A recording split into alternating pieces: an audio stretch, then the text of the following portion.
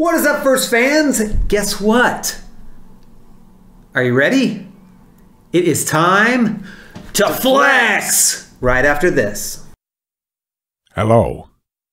If you think about how great Travis Kelce is, you will most definitely want to be one of only 1,000 first fans to receive this beautiful collector card for free. They are individually numbered, and all you have to do is like this video, comment on this video, and subscribe to the Fantasy Football First channel.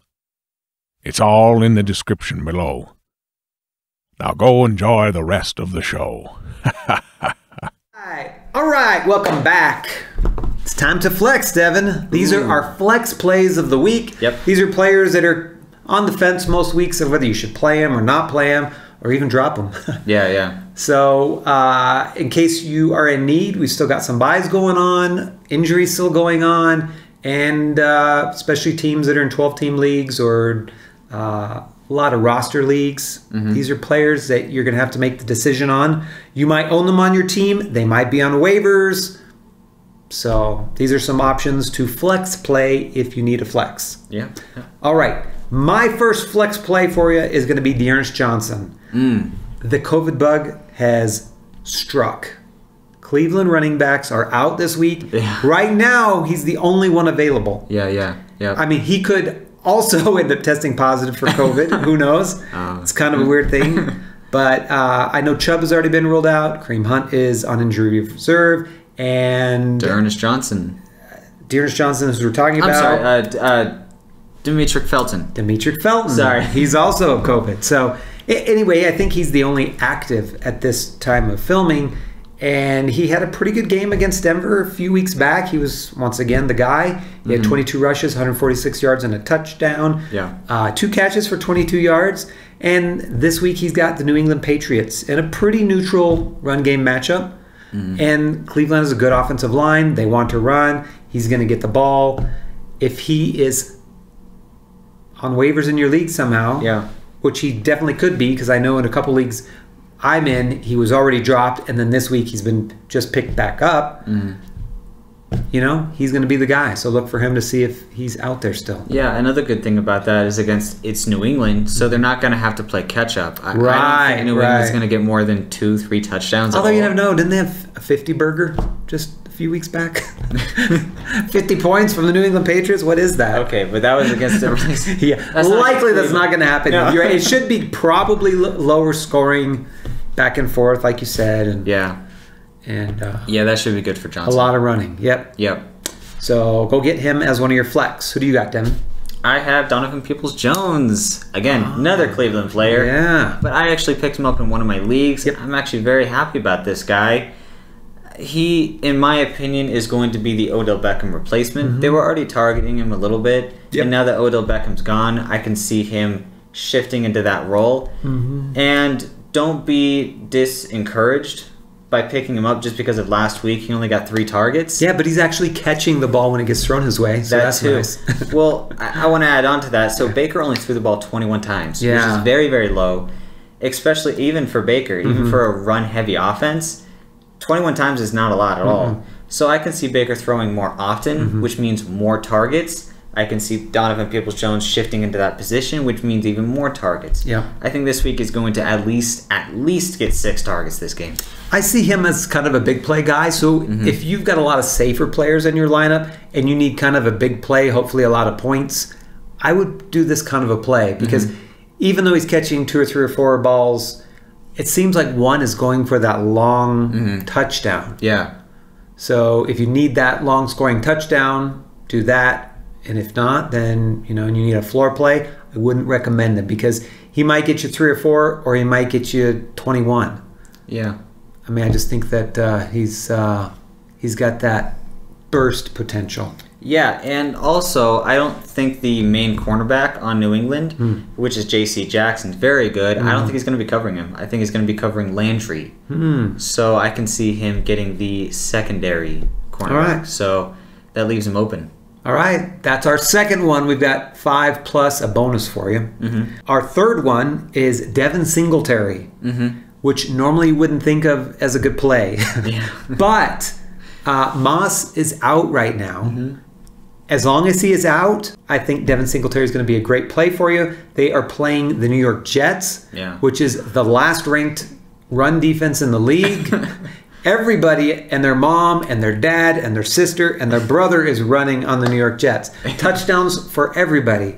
So I wouldn't I wouldn't I wouldn't be shocked if he gets you 60 70 yards and a touchdown Yeah. Pretty easily. Yeah, on top of that, the Jets have actually been playing really, really good the past couple weeks. Yeah. So I can see them scoring some touchdowns this game. And if that's Back the case, forth. Yeah. the Bills are going to have to score touchdowns to keep up. Yeah. Or not really keep up, but uh, stay on top. Yeah. and, and it could be too, you never know. I mean, the Bills have not looked good the last few weeks. This could be a big wake up game. And this Yes. also could be one of those games where they just put 40 on them Mm-hmm. and just completely obliterate the Jets. Yes, yes. And especially if it gets to that in the third quarter and fourth quarter, they're probably going to be running the ball a lot. If that's the you know the scheme and they are up like that, Yeah. I can see them just running the ball to close it out. And since the Jets can't stop anybody, like I said, Devin Singletary, I could easily see a touchdown, maybe two out of weirdness. mm-hmm. So Yeah, Devin I can definitely see that. Okay, number four. My second guy, number four player, Flex. is going to be Brandon Aiyuk. Okay, he has How many been people are playing him? Yeah, he's been Less getting than twenty five percent of leagues are starting him. back right on track. It's crazy. I am playing Brandon Aiyuk this week. Okay. He's get he's averaging between seven and eight reception, uh, seven seven and eight targets, Targets, a game. yeah. Sorry, the past two weeks he's starting to get more involved. He's starting to become that Brandon Aiyuk that we drafted. Yeah. So, Finally. yeah, I'm really excited for him, especially against the Rams. There's a positive and negative about this. The Rams are going to score, which is going to cause the San Francisco 49ers to pass the ball Yep. to try to keep up.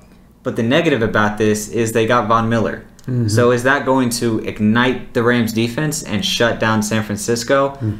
I think it's going to be either or. Either Brandon Aiyuk explodes or he goes back to what he's been doing the rest of the season and does nothing. Mm-hmm. I think it's a high risk, high reward.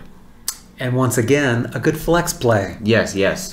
You know, very good, very good. All right, I like that. Brandon Aiyuk for you guys. My last guy is also a wide receiver, number five, Okay. and it's Russell Gage. The beginning of the year, we were both on Russell Gage. He got injured, stuff happened, blah, blah, blah. well, it looks like he's finally healthy and he's getting involved in this Atlanta offense. Yeah, yeah. Uh, they're playing the Dallas Cowboys. Okay. who are not the greatest against the pass. Mm-hmm. And I think this is going to be a high scoring game. Okay, I can see that. I can see it being shootout going back and forth. And Russell Gage has been targeted a lot lately. And I think he should get a lot of targets in this game. Hopefully, he'll catch some for you and maybe even score that touchdown. It feels like a rotation. A couple weeks back, it was Tajae Sharpe. This last week, it was Zaccheaus. Zaccheaus. And I think this week is going to be Russell Gage for the touchdowns Yeah, yeah, yeah. or touchdown, Yeah. you know. So, Okay, I like that. all right, Russell Gage as a flex play if you uh, need it.